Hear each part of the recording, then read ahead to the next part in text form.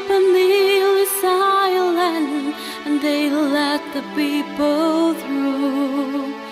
And at first across the threshold of the Isle of hope and tears was Annie Moore from Ireland who was only 15 years. Isle of Hope, Isle of Tears.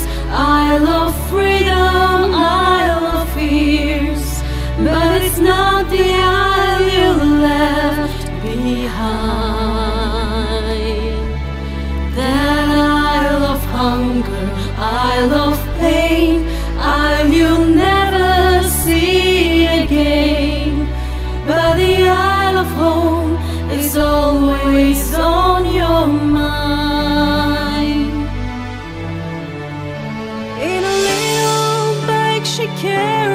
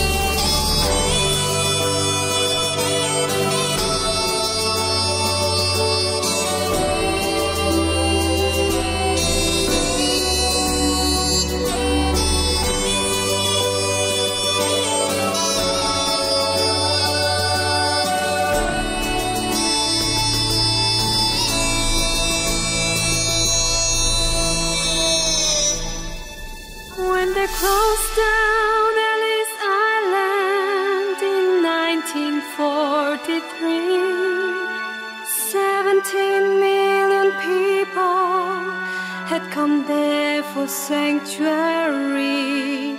And in springtime, when I came here and I stepped onto